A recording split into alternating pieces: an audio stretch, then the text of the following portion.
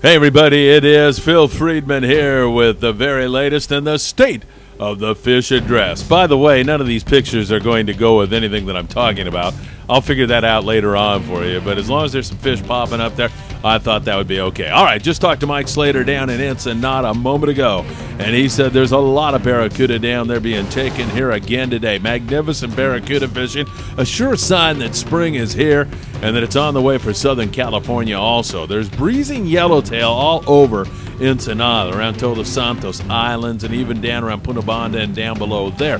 However, they have been reluctant to bite, and they continue that way again today, according to Slater. He said slow trolled rapalas or a slow trolled mackerel had been the best way to get a bite, but even that hadn't produced all that much. The Malahini had some fork down there today, and they're nice grade. I've had some photos up for you, and they're beautiful fish. In fact, in this, you'll see some of those yellows that have been popping up down there in the San Diego area. And there's been some barracuda also. It's still not quite there yet, but it's coming together slowly but surely, and hopefully we'll see some more of it as we go along. Spotter plane information will be available to SAC Boats. Buzz Brizendine telling a lot of folks about that, including yours truly.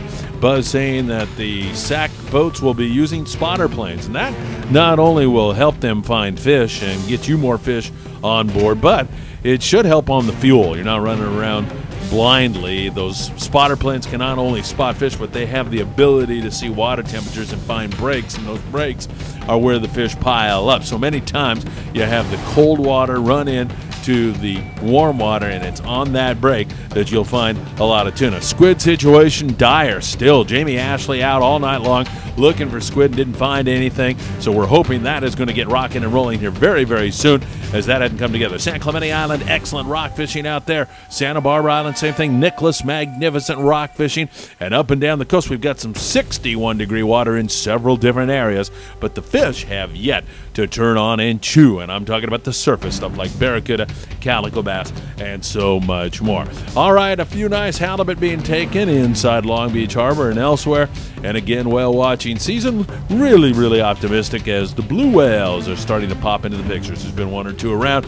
We're hoping that's going to kick into gear. All right, folks, we need to watch this very closely. White sea bass, a few taken. Talked to Tino Valentine at great length the other day.